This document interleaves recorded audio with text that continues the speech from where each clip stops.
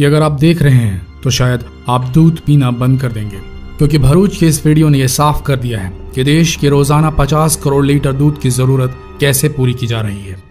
तो अगर अपनी व अपने घर वालों की जान की सलामती चाहते हैं तो शेयर कीजिए ये वीडियो, पर पूरा वीडियो अंत तक देखने के बाद ही। ये वीडियो भरूच के इंडस्ट्रियल एरिया से लीक हुई है, जहाँ एक मिलावट करने वाले के खिलाफ नकली दूध बनाने वाली फैक्ट्री के ही एक मजदूर ने बगावत कर दी है। जिसकी वजह से ये क्लिप व्हाट्सएप और यूट्यूब के माध्यम से वायरल हो रहा है। तो किस तरह बनाया जा रहा है ये नकली दूध? गौर से देखिए। इसके हाथ में एक कांच की शीशी है, जिसमें कोई चाशनी नुमा केमिकल भरा है। ये शीशी या तो गर्म है या तो इसमें इतना घातक रसायन है कि ये शख्स उसे चिमटे से पकड़े हुए है। सीधे हाथ में ले भी नहीं रहा है। वहीं जैसे ही थोड़ा सा केमिकल गिलास में डाला जाता है, दूसरा व्यक्ति उस शीशी को सावधानी से लेकर हटा दे रहा है। सोचिए, कितना खतरनाक केमिकल होगा वह। फिर उसमें पानी मिलाया जाता है और नकली दूध तैयार।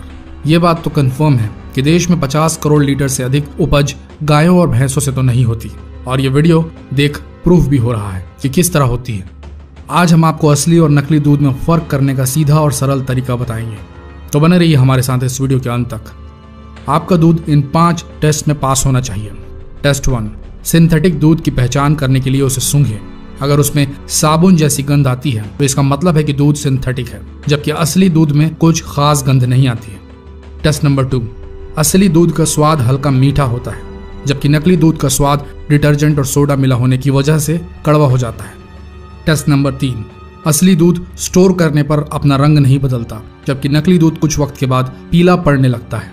अगर हम असली दूध को उबालें तो इसका रंग नहीं बदलता। वही नकली दूध उबालने पर पीले रंग का हो जाता है। टेस्ट नंबर चार। असली दूध को हाथों के बीच रगड़ने पर कोई चिकनाहट महसूस नहीं होती। वहीं नकली दूध को अगर आप अपने हाथों के बीच रगड़ेंगे तो आपको डिटर्जेंट जैसी चिकनाहट महसूस होगी। टेस्ट नंबर पाँच। दूध में पानी की मिलावट की जाँच करने के लिए किसी चिकनी लकड़ी या पत्थर की सतह पर दूध की एक या दो बूंद टपका कर देखिए। अगर दूध बहता हुआ नीचे की तरफ़ गिरे और सफ़ेद धार से निशान बन जाए तो दूध शुद्ध है। दोस्तों, जितना हो सके इस वीडियो को शेयर कीजिए। और बचाइए अपनी सेहत और अपने बच्चों की जान। धन्यवाद।